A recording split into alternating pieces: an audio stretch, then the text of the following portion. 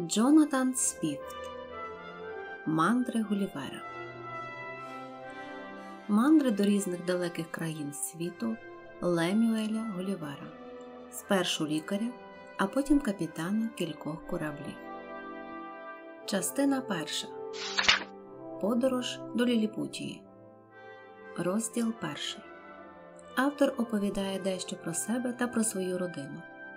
Перші спонуки до мандрів.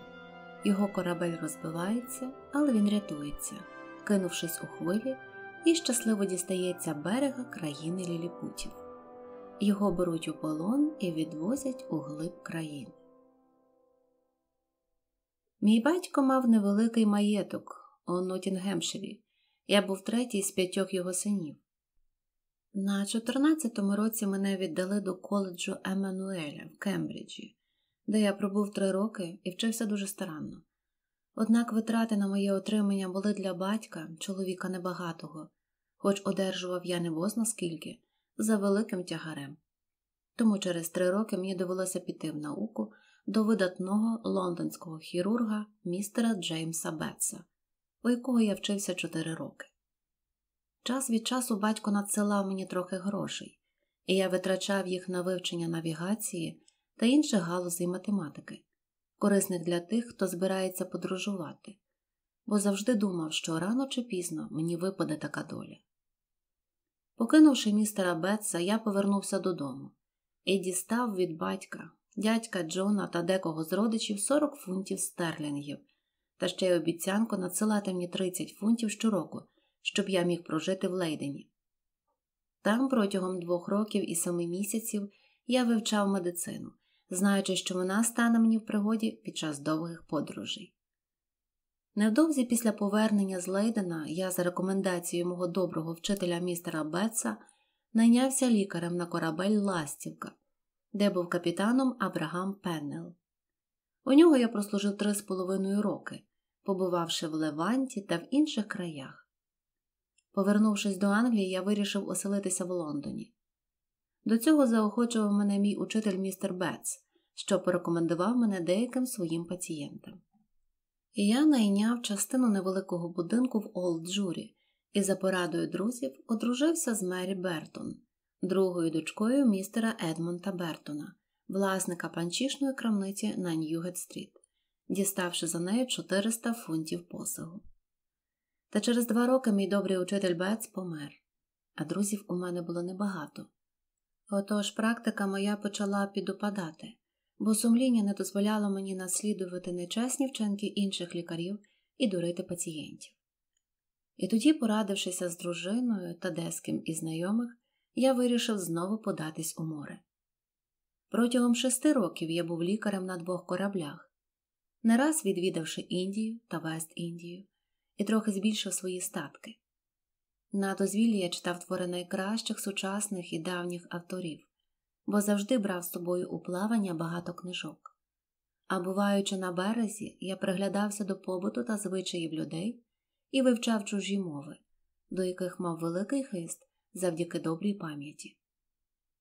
Остання подорож моя була не дуже щаслива, і, стомлений морем, я вирішив осісти вдома при дружині та дітях.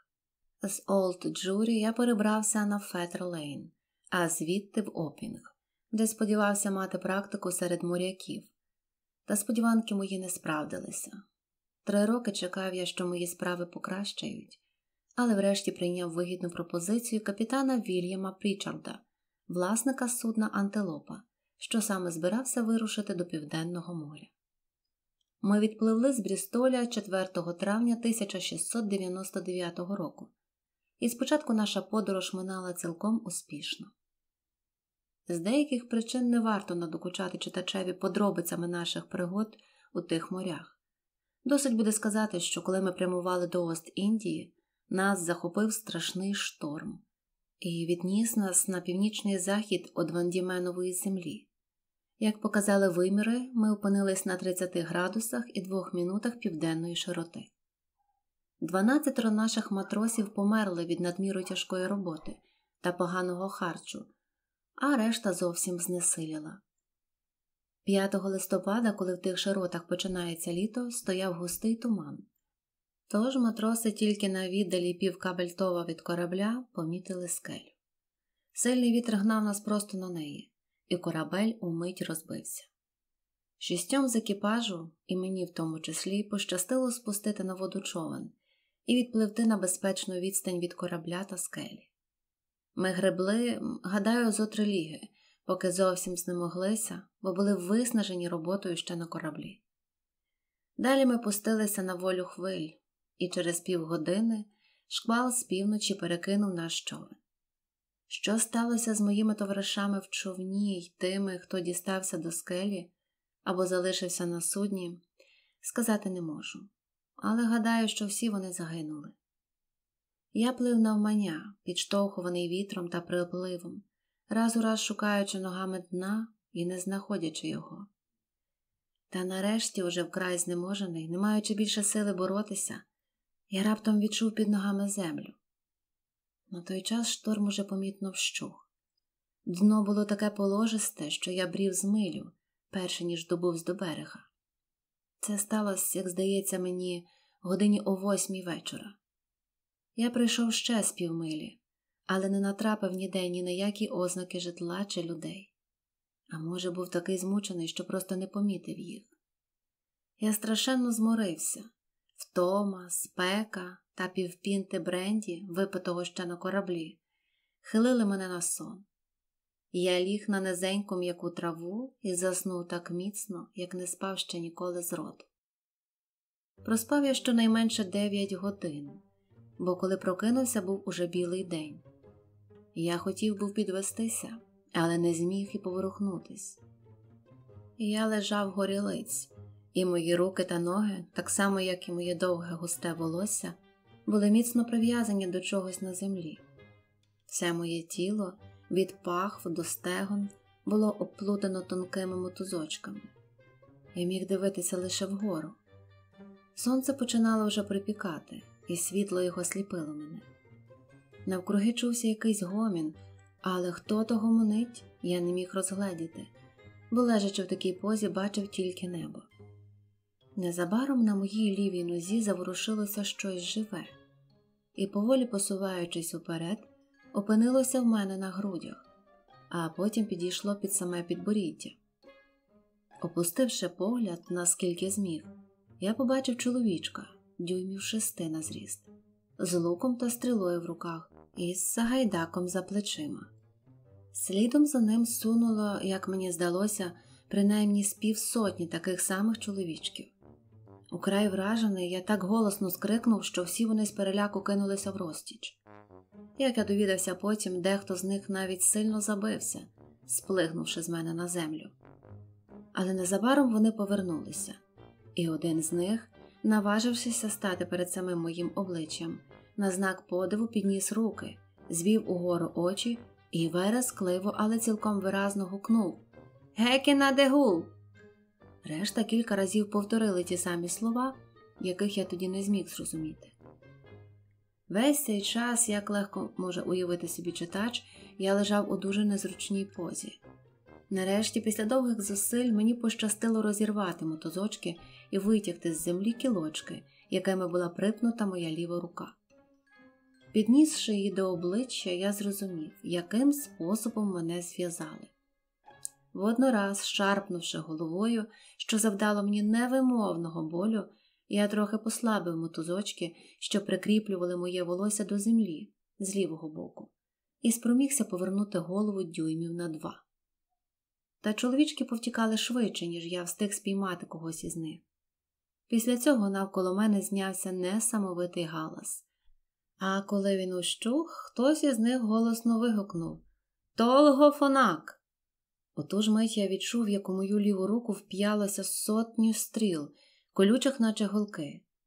Далі чоловічки вдруге разом вистрелили в повітря, як у нас в Європі стріляють в мортир, і багато стріл упало мені на тіло, хоча й не відчув їх, а деякі влучили в обличчя, яке я відразу ж затулив лівою рукою. Коли ця злива стріл ущухла, я аж застогнав зі злості та з болю і знову спробував звільнитись, але тоді чоловічки випустили ще більше стріл, а декотрі намагалися колоти мене списами в боки. На щастя, на мені була куртка з буйволячої шкіри, якої вони не могли проколоти. Я подумав, що найобачніше буде лежати поки що тихо, а вночі з допомогою вже вільної лівої руки визволитися зовсім. Я мав підстави вважати, що міг би стати до бою з найбільшими арміями, які вони могли зібрати проти мене, коли всі жителі цієї країни не більші за тих, котрих я бачив. Але доля судила інакше. Помітивши, що я не рухаюсь, вони перестали стріляти, але з гамору, який долинав до моїх вух, я здогадався їх стало більше. Ярдів за чотири від мене, якраз проти мого правого вуха, чути було стукіт, що тривав уже цілу годину, так наче щось там будували. Повернувши голову, наскільки дозволяли кілочки та мотузочки, я побачив поміст, футів на півтора заввишки з двома чи трьома драбинами. На ньому могло поміститися четверо тубільців. З того помосту один з них, певно, якась поважна особа, звернувся до мене з довгою промовою, з якої я не зрозумів жодного слова. Слід, правда, згадати, що, розпочинаючи її, він тричі вигукнув Лангродегулсан. Ці слова, так само як і наведені вище, згодом мені повторили і пояснили. Зразу після того до мене підійшло з півсотні тубільців.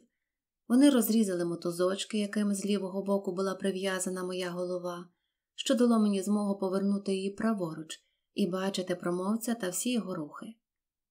Він здавався людиною середнього віку і був ніби вищий на зріст, ніж ті троє, що супроводили його. Один із них, трохи довший за мій середній палець, напевне, паш, тримав шлейф, а ще двоє стояли з обох боків. Він промовляв як справжній оратор, і в його словах було чути і погрози, і обіцянки, і співчуття, і ласку. Я відповів йому небагатьма словами, але як найпокірнішим тоном, знявши вгору ліву руку і звівши очі до сонця, немов закликаючи те сонце в свідки. Я майже помирав з голоду. Востаннє я їв за декілька годин перед тим, як покинув корабель. Мій шлунок так настійно вимагав їжі, що я не міг побороти нетерпіння і, знехтувавши правила чемності, кілька разів підніс палець до губів на знак того, що хочу їсти. Гурго, такий був титул поважного вельможі, як я довідався згодом, зрозумів мене дуже добре. Зійшовши з помосту, він звелів приставити до мене кілька драбин, і ними полізли й попрямували до мого рота сотні тубільців, несучи в кошиках їжу, яку наказав зібрати і приготувати для мене владар, тільки но довідавшись про мою появу. На смак то було м'ясо різних тварин, але я не міг розібрати, яких саме. Там були окости, лопатки і вирізки, схожі виглядом на баранину і дуже смачно приготовані, але всі вони були менші за жайворонкове крильце. Я ковтав по два, а то й по три шматки разом, і з'їдав щоразу по три хлібини, кожна з мушкетну кулю завбільшки. Чоловічки прислужували мені дуже жваво і на всякі лади виявляли свій подив та захоплення з мого великого зросту й апетиту. Потім я дав знак, що хочу пити. Побачивши, як я їм, вони зрозуміли, що дещицею мене не задовільнять, а оскільки були дуже винахідливі, надзвичайно спритно підкотили до моєї руки одну з найбільших своїх бочок і вибили в ній днище. Я вихилив її одним духом, бо там було менше, як півпінти легкого вина, що скидалося на бургунське, але було куди смачніше. Потім вони підкотили мені другу бочку, яку я випив у такий самий спосіб, і знаками показав, що хочу ще, але вина в них більше не було. Коли я докінчив усі ці дива, чоловічки заходилися кричати з захвату і танцювати в мене на грудях, без кінця повторюючи свій перший вигук Геккіна дегул. Потім вони знаками попросили, щоб я скинув додолу обидві бочки спершу попередивши про небезпеку тих, які стояли внизу голосним криком Борач мівола. А коли бочки злетіли в повітря, знову пролунав одноголосий вигук Геккі на дегул. Признаюся, що коли ці чоловічки бігали по моєму тілу сюди й туди, мені не раз кортіло схопити в жменю 40 чи 50 з тих, які навернуться під руку, і скинути їх на землю. Однак, зваживши на все те лихо, якого я вже натерпівся, а вони, як видно, могли заподіяти мені ще й гіршого, я також на власну урочисту обіцянку, бо так тлумачив я свою покірливу поведінку, я зразу й відмовився від свого наміру. До того ж, я вважав, що це була б невдячність до людей, які так гостинно поводилися зі мною і так щедро частували мене. А в думці я не міг надивуватися з хоробрості цих маленьких людей, які наважувалися злазити на мене і походжати по моєму тілу, хоч одна рука моя була вільна, і не тремтіли від одного погляду на таке гігантське створіння, яким я мав їм здаватися. Трохи згодом, коли вони побачили, що я не прошу більше їсти, переді мною з'явився поважний урядовець, посланець його імператорської величності. Його ясновельможність, вибравшись по моїй правій нозі в супроводі почту з десяти чоловік, наблизився до мого обличчя. Він підніс мені до самісіньких очей вірчого листа з королівською печаткою, і хвилин десять промовляв до мене без будь-яких ознак невдоволення, але дуже ріжучим тоном, причому часто показував рукою, як виявилось потім, у напрямку столиці, що була за півмилі від нас. Державна рада ухвалила перевести мене туди. Я відповів небагатьма словами, та вони, звичайно, не зрозуміли їх. Тоді я вільною рукою, проносячи її високо над головою його ясновельможності, щоб не зачепити його або кого-небудь з його почту, доторкнувся спочатку до другої своєї руки, а тоді до своєї голови й тіла, показуючи, що хочу визволитись. Посланець його величності, видно, досить добре зрозумів мене, бо заперечливо похитав головою і жестом пояснив, що мене відвезуть до столиці як полоненого. Водночас іншими знаками він дав мені зрозуміти, що я матиму вдосталь їсти та пити, і що зі мною поводитимуться дуже добре. Тоді мені знов спало на думку спробувати розірвати пута, але, відчувши пекучий біль на обличчі та руках, які вкрилися похарями, а подекуди ще стирчали стріли, і, помітивши, що ворогів мої стало ще більше, я на мигах показав їм, хай вони роблять зі мною, що хочуть. Після того Гурго чемно вклонився і пішов разом із своїм почтом. Всі вони були в дуже доброму гуморі. Незабаром я почув у натовпі крики, раз у раз голосно повторювалися слова Пеплом селан. Біля мого лівого боку закумашкалося багато людей. Вони попустили мої пута, так що я зміг повернутися на правий бік і справити малу потребу, від чого мені полегшало. Сечі вийшло дуже багато на превеликий подив тубільців, які, зрозумівши мій намір, в ту ж мить розступилися на обидва боки, щоб не потрапити під струмінь, який бив з мене з великим шумом і силою. Ще перед тим вони намастили мені обличчя і руки якоюсь маззю, що дуже приємно пахла, і біль, заподіяний стрілами, за кілька хвилин утамувався. Все це на додачу до їхніх дуже поживних страв і напоїв схилило мене на сон. Я спав щось із вісім годин, як довідався згодом, та й не дивно, бо лікарі з наказу імператора підсипали в бочки з вином сонного зілля. Очевидно, тубільці, знайшовши мене на березі, де я спав, коли дістався до суходолу, зразу відрядили гінця до імператора, і Державна рада ухвалила зв'язати мене описаним вище способом. Це зробили вночі, поки я спав. А також надіслали мені вдосталь їжі та питва і приготували екіпаж, щоб перевести мене до столиці. Така постанова може здатися занадто сміливою і небезпечною, і я певен, що за схожих обставин жоден європейський монарх так не вчинив би. Проте, на мою думку, рішення це надзвичайно розумне і великодушне. Адже й справді, якби ці люди спробували вбити мене сонного своїми списами та стрілами, то я, відчувши біль, умить прокинувся б, розлютився б, порвав би всі мотузочки, якими був зв'язаний, а тоді вони, не маючи сили боронитися, не могли б сподіватися собі пощади. Ці люди неабиякі математики і досягли особливих успіхів у механіці завдяки підтримці і заохоченню свого імператора, відомого покровителя наук.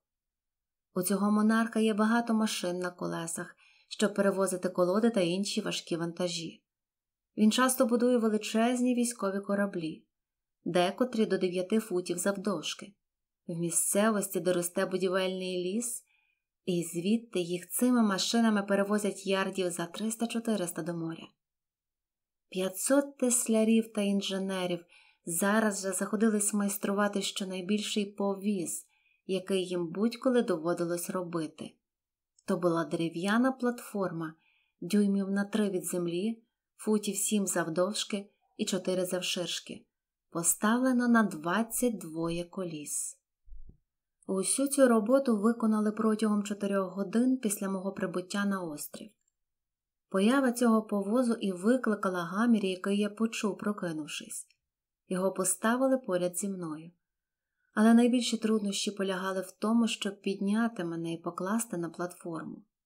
Для цього тубільці вкопали 80 стовпів в один фут заввишки, до них прив'язали якнайміцніші канати, не товщі від нашого шпагату, з гачками на кінцях, а ті гачки зачепили за шворки, якими робітники обвили мені шию, руки, ноги й тулуб. Дев'ятсот найдужчих чоловіків тягли канати за допомогою безлічі блоків, почеплених на стовпи, і через три години я вже лежав на платформі, міцно прив'язаний до неї. Про все це мені розповідали потім, бо під час цієї операції я спав глибоким сном. Той сон навіяло мені сонне зілля, підсипане у вино. Півтори тисячі найсильніших коней імператорських стаєнь кожен з ростом у чотири з половиною дюйми, повезли мене до столиці, розташованої, як уже сказано, за півмилі від того місця, де я лежав. Години через чотири після того, як почався наш переїзд, мене розбудив один дуже кумедний випадок. Коли платформа спинилася на хвилину через якусь несправність, двоє чи троє молодих тубільців захотіли подивитися, який я маю вигляд, коли сплю. Вони видрались на платформу і обережно наблизились до мого обличчя. Один з них, гвардійський офіцер, засунув мені в ліву ніздрю вістря свого списа, що залоскотало мене, неначе соломинка. Я чхнув і прокинувся, а тубільці непомітно втекли. Та про цю причину мого раптового пробудження я довідався тільки через три тижні. До вечора ми їхали, а на ніч спинилися. З обох боків платформи стало по 500 фартових, половина із запаленими смолоскипами, а решта з луками та стрілами на поготові, щоб стріляти, тільки но я спробую поворухнутися. На світанку ми рушили далі, і до полудня були вже за 200 ярдів від столиці. Там нас зустрів імператор з старедворцями, але міністри, боячись за життя його величності, відрадили його сходити на мене, щоб не наражатись на небезпеку. На площі, де зупинився повіз, стояв старовинний храм, що вважався найбільшим у всій державі. За кілька років перед тим, осквернений брутальним убивством, він утратив для цього релігійного народу своє священне значення. Повиносивши звідти всі оздоби та культове начиння, його почали використовувати для різних громадських потреб. Цю будівлю й призначено було мені за житло. Головні двері, звернені на північ, були чотири фути заввишки і два завширшки, і я вільно міг пролізти крізь них. А Обабіч дверей, дюймів за шість від землі, було по невеличкому віконцю. Крізь ліве вікно імператорські ковалі просунули 91 ланцюг розміром з ланцюжок на годиннику європейської дами і примкнули їх тридцятьма шістьма замками до моєї лівої ноги. Через дорогу футів за двадцять від храму стояла башта не менш як п'ять футів заввишки. Сам я того не бачив, але потім мені розповіли, що імператор з багатьма вельможами зійшов на башту і звідти дивився на мене. Було підраховано, що з міста з цією ж метою вийшло понад сто тисяч городян, і я думаю, що принаймні десять тисяч їх того ж таки дня здерлися драбинами на мене, незважаючи на сторожу. Щоправда, незабаром видали указ, який забороняв таке під страхом смерті. Пересвідчившись, що порвати ланцюги я не здужаю, робітники перерізали всі мотузки на моєму тілі, після чого я звівся на ноги в дуже сумному настрої. Не можна описати, як усі здивувалися і загаласували, побачивши, що я встав і ходжу. Ланцюги, якими мене прикували за ліву ногу, були зо два ярди завдовжки і не тільки давали мені змогу ходити туди й сюди, описуючи півколо, а й закріплені на віддалі чотирьох дюймів від дверей, дозволяли залазити в храм і лежати там, простягтись на весь зріст. Розділ другий Імператор Ліліпутії в супроводі багатьох вельмож приходить подивитися на автора в його ув'язненні. Опис особи та одягу імператора. До автора представлено вчених, щоб учити його ліліпутської мови. Своєю сумирною поведінкою він здобуває прихильність імператора, обшукують кишені автора і відбирають у нього шаблю та пістоль. Підвівшись, я поглянув навкруги і мушу визнати, що ніколи не бачив приємнішого краєвиду. Вся місцевість здавалася суцільним садом, а обгороджені лани приблизно 40 квадратних футів кожний скидалися на квітники. Лани чергувалися з лісами, де найвищі дерева, на мою думку, були не більше семи футів заввишки. Ліворуч від себе я бачив місто, що нагадувало театральну декорацію.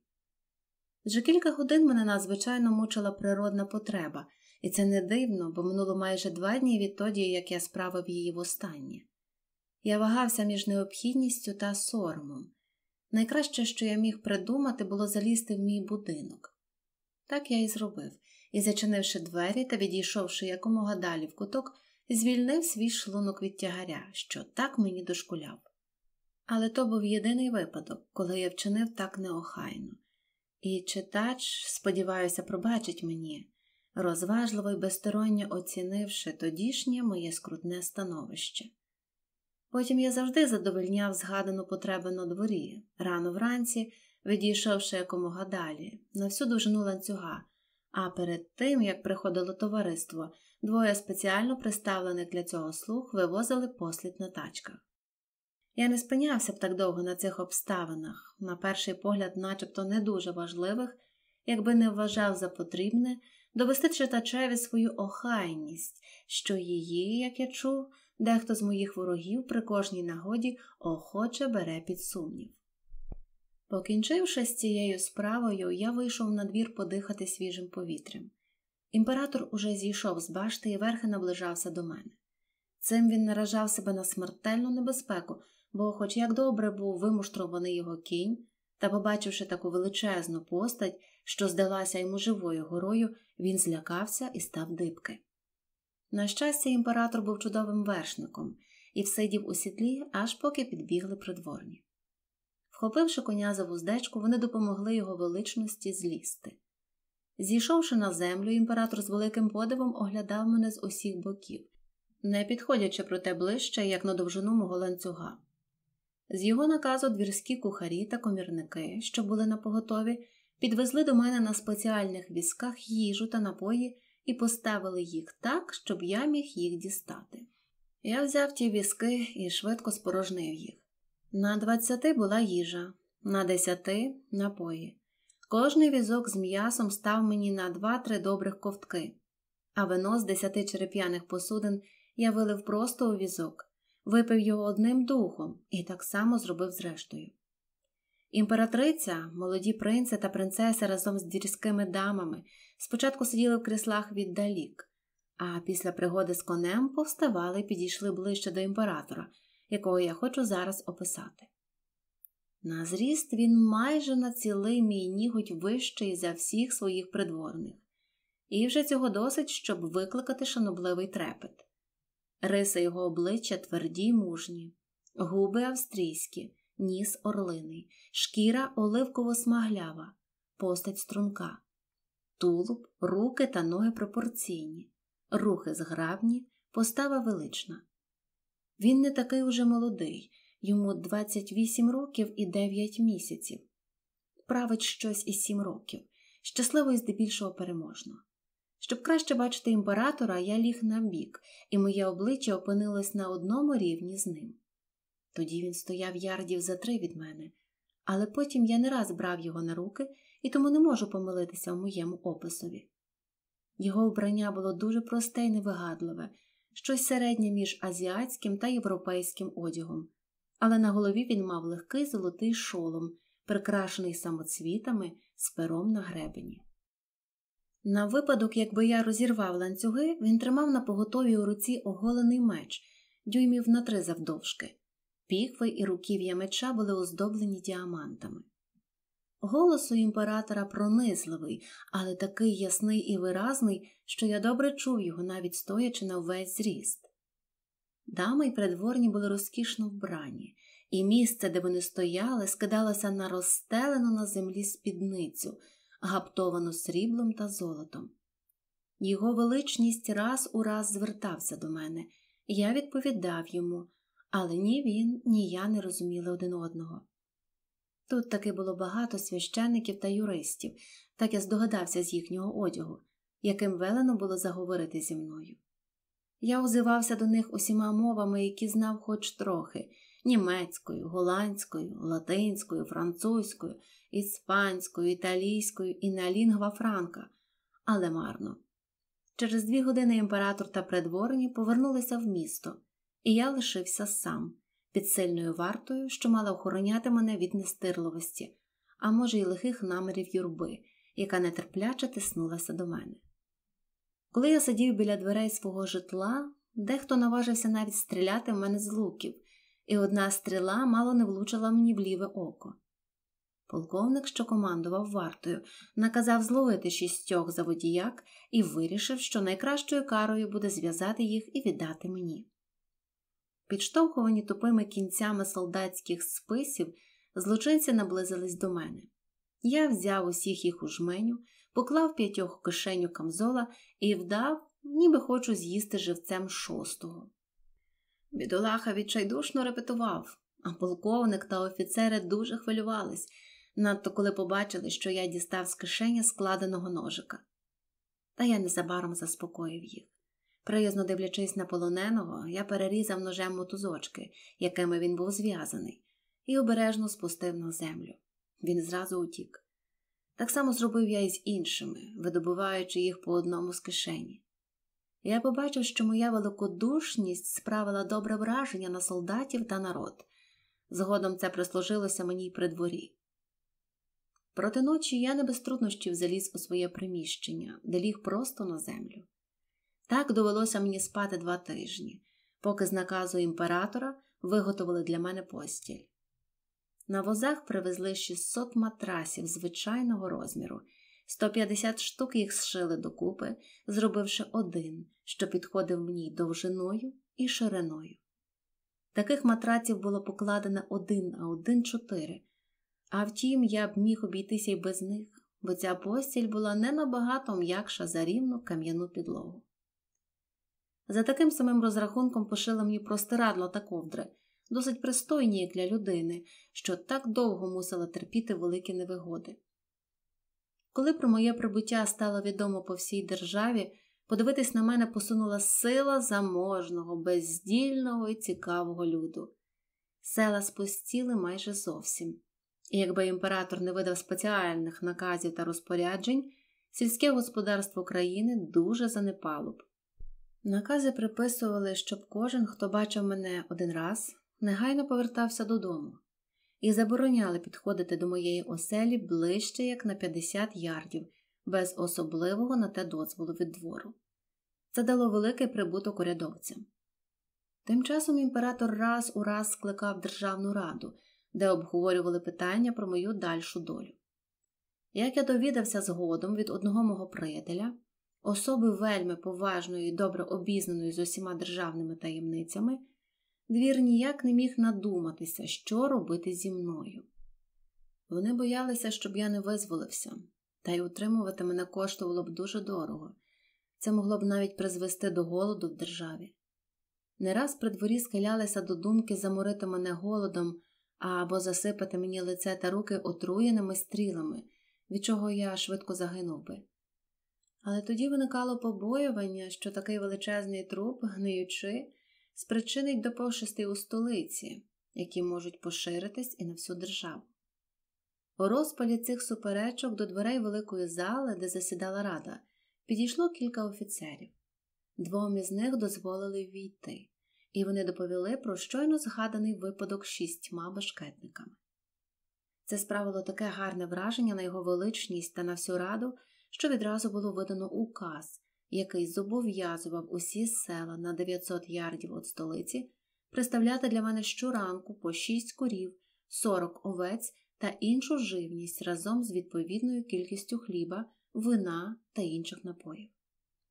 Платити за все мала скарбниця його величності, бо цей монарх живе переважно з прибутків від власних маєтків і лише рідко, хіба що у виняткових випадках, удається по субсидію до своїх підданців. Зате на війну, коли він накаже, вони зобов'язані виступати з власною зброєю та спорядженням. Прислуговувати мені поставили 600 чоловік, яким визначили платню, достатню для їхнього прожитку, і нап'яли їм біля моїх дверей вигідні намети. Триста кравців дістали наказ пошити мені вбрання тамтешнього фасону. Шістьом найвизначнішим ученим країни було доручено навчити мене їхньої мови. І нарешті всіх коней з імператорських стаїн, так само як і коней вельмож та вартових, часто виїжджували в моїй присутності, щоб призвичаїти їх до мене. Всі ці накази негайно було виконано, і за три тижні досяг чималих успіхів у вивченні ліліпутської мови. Імператор не раз ушановував мене своїми візитами і сам залюбки допомагав моїм учителям. Невдовзі я вже міг сяк так порозумітися з імператором. Перше речення, яке я вивчив, було прохання ласкаво повернути мені волю. Його я повторював щодня, стоячи на колінах. Скільки я міг зрозуміти, імператор відповідав, що на все свій час, що розв'язати цю справу він може тільки в згоді з Державною радою, і що я повинен люмост кельмін песо десмарлон емпосо заприсягтися жити в мирі з ним та його державою. Проте він обіцяв, що зі мною поводитимуться добре, і порадив заслужити скромною поведінкою його прихильність, а також симпатію його підданців. Він висловив сподівання, що я не ображуся, коли він накаже спеціальним урядовцям обшукати мене. В мене, мовляв, напевно, є зброя, що мусить бути дуже небезпечна, коли вона відповідає розмірам такої величезної істоти. Я відповів, що його величність може заспокоїтись і що я ладен роздягтися тут таки перед ним і повивертати всі мої кишені. Все це я переказав почасти словами, а почасти на мигах. Імператор відповів, що згідно з законами держави, обшук провадитимуть двоє його урядовців, і додав, що зробити це вони, безперечно, зможуть лише з моєї згоди та з моєю допомогою. Отже, певний мого благородства та справедливості, він з довірою передає їх мені до рук. Що речі, відібрані в мене, мені повернуть, коли я вирушатиму додому, або ж заплатять за них стільки, скільки я сам призначу.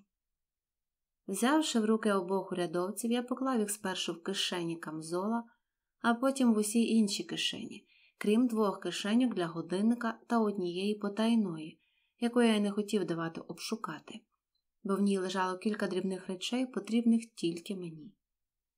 В одній з тих кишеньок був срібний годинник, а в другій гаманець з кількома золотими монетами. Урядовці мали при собі пера, чорнило і папір і склали докладний список усього, що знайшли, а закінчивши роботу, попросили спустити їх на землю для доповіді імператорові.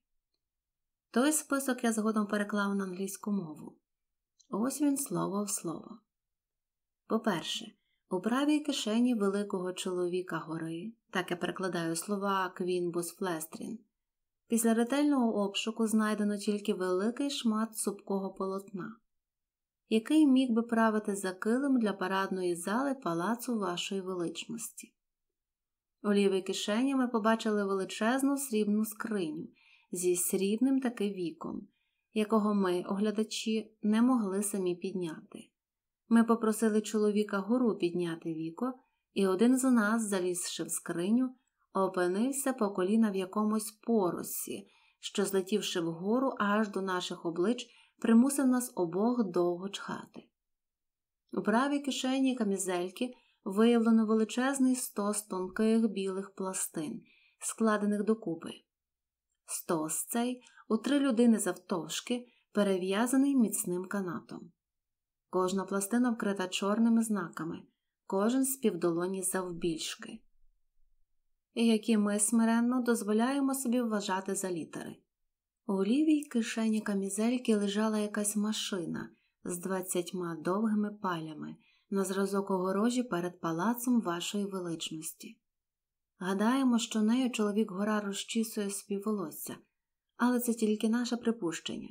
Ми не завжди вдавалися до розпитів, бо порозумітися з чоловіком горою дуже важко.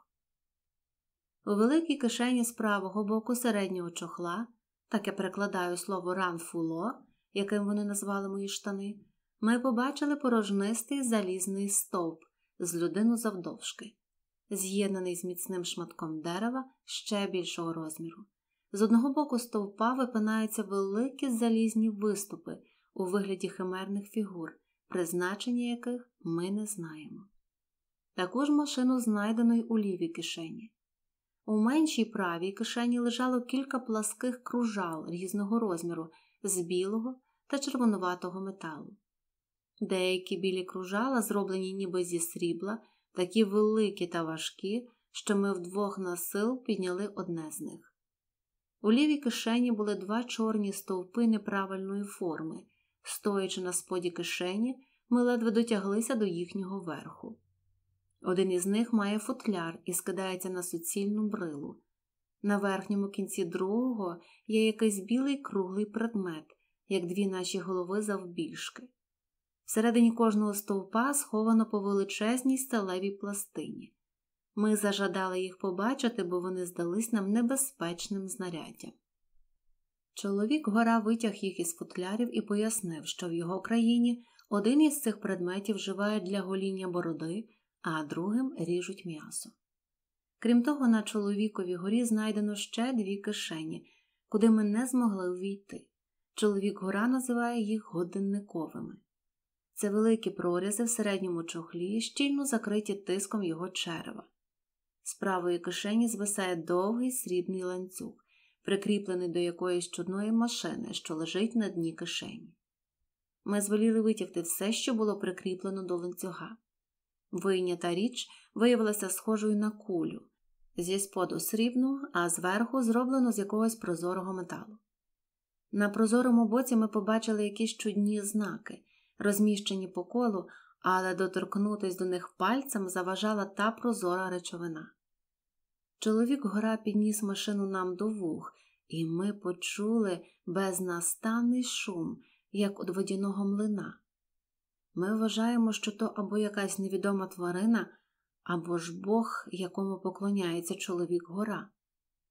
Останнє припущення здається нам імовірнішим, бо з його слів випливає, якщо ми правильно їх зрозуміли, бо він висловлюється не по-нашому дуже недосконало, що він рідко робить щось, не порадившись із цією річчю.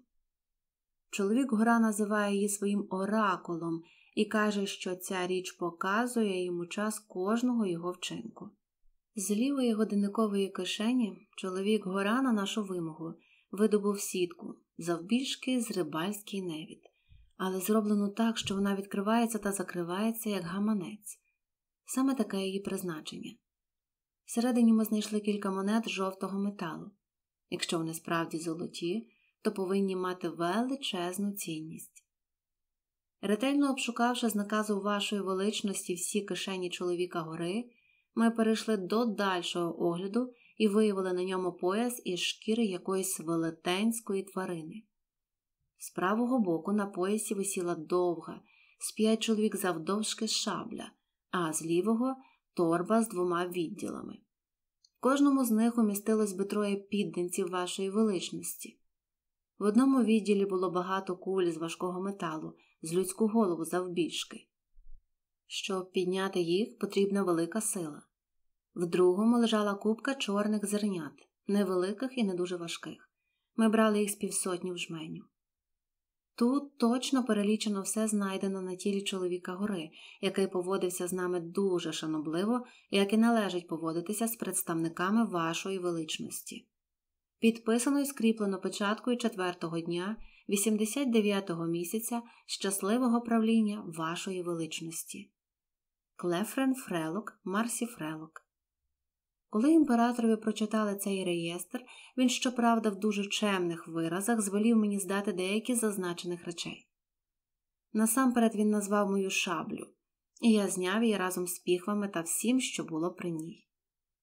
Тим часом імператор наказав трьом тисячам чоловік добірного війська, які того дня охороняли його величність, оточити мене на певній відстані і націлити на мене луки. Але я цього не помітив, бо весь час не зводив очей з його величності. Далі він зажадав, щоб я витяг з піхов шаблю, яка хоч і взялася трохи іржею від морської води, проте ще яскраво виблискувала. Я скорився наказові, і коли став вимахувати шаблею, вона засяяла проти сонця так, що все військо аж скрикнуло чи то з ляку, чи то з несподіванки. Його величність, найхоробріший із монархів, злякався менше, ніж я міг сподіватися. Він наказав мені вкласти шаблю в піхви і кинути її якомога обережніше, ярдів на шість від кінця мого ланцюга. Далі він зажадав один із порожнистих залізних стовпів, як він називав мої кишенькові пістолі. Я вийняв пістоль і, на бажання імператора, як зумів, пояснив його призначення. Тоді зарядив його самим порохом, який, на щастя, не змог у щільно заткнутій порохівниці. Адже кожен завбачливий моряк насамперед дбає про те, щоб зберегти порох сухим, і, попередивши імператора, щоб він не злякався, вистрелив у повітря. Це справило враження куди більше, ніж шабля. Сотні тубільців попадали на землю, наче мертві, і навіть сам імператор, хоч і втримався на ногах, довгенько не міг прийти до пам'яті. Я кинув від себе обидва пістолі разом з порохівницею та кулями, так само, як і шаблю, і попросив тримати порох якнайдалі від вогню, бо він міг спалахнути від найменшої іскри і висадити в повітря палац його величності. Так само віддав я і годинник. Імператор дуже зацікавився ним, оглянув і звелів двом найвищим на зріст гвардійцям віднести його, просунувши крізь вушко палицю і поклавши її кінці на плечі, як от у Англії носять барильця з Елен. І йому дуже сподобався безнастанний шум механізму і рух хвилинної стрілки, який він виразно бачив. Зір у ліліпутів гостріший, ніж у нас, і він зажадав пояснень від своїх учених. Читачеві неважко буде уявити собі, які суперечливі і далекі від істини думки були висловлені з цього приводу, хоч, відверто кажучи, я не всі їх добре зрозумів. Потім я віддав срібні й мідні монети, гаманець з дев'ятьма великими та кількома меншими золотими монетами, складений ніж, бритву, гребінець, срібну табакерку, носову хусточку та записну книжку. Шаблю, пістолі, порохівницю відвезли до арсеналу його величності, а решту речей повернули мені. Я казав уже про мою потайну кишеню, якої не помітили обшукувачі. В ній лежали окуляри. Зір у мене досить слабкий, і тому я іноді ними користуюся. Кишенькова підзорна труба та кілька дрібничок. Вони не становили для імператора ніякого інтересу, і тому я вважав, що маю право не показувати їх боячись до того ж, щоб мені їх не попсували або не загубили, коли я зважуся їх віддати. Далі буде. Підписуйтесь на канал Світ Казок.